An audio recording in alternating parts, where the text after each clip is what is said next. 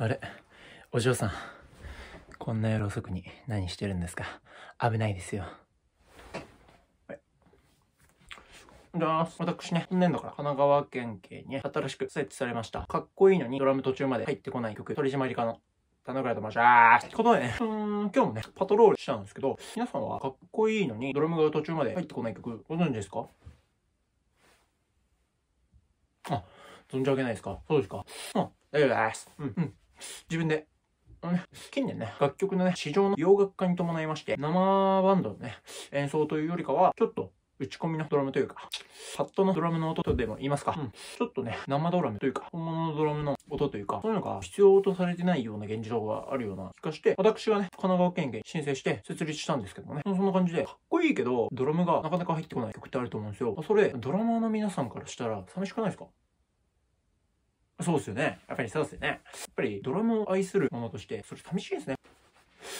あだから取り締まってるんですけど、今日ね、そのタイタル例見つけちゃったんですよ。ちょっと、聞かせていくんだけど。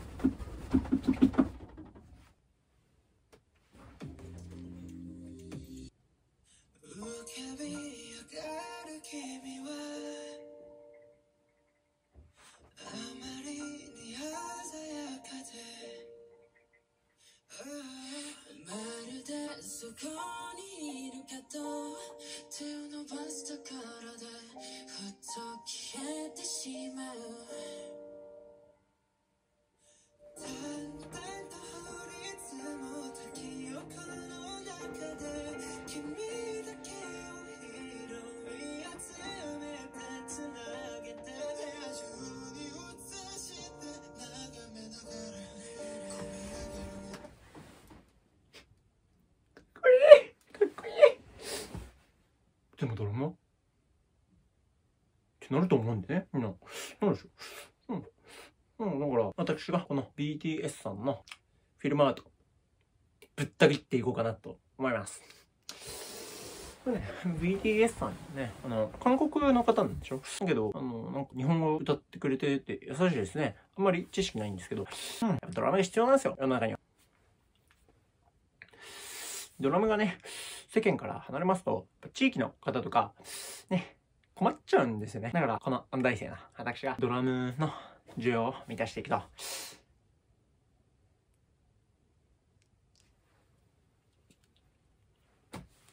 かっこいいのに、ドラムがない曲、ぶったたくそれじゃあ、行ってみよう楽しんで。浮かび上がる君は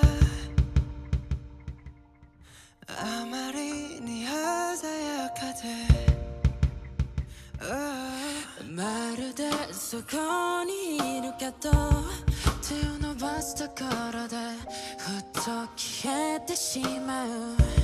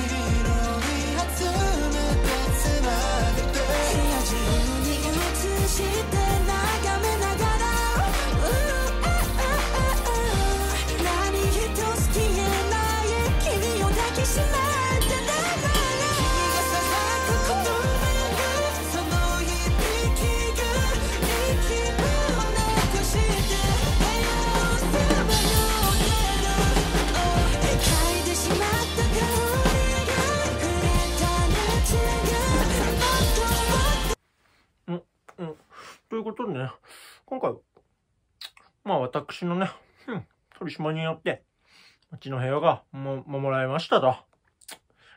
そういうことでさ、うん。っていうことでね、うん。皆さんもね、こういうね、かっこいいのに、最初から曲にドラムがないね、ふとだけ者がおりましたら、コメント欄で教えてください。うん、まあ、そういうことでした。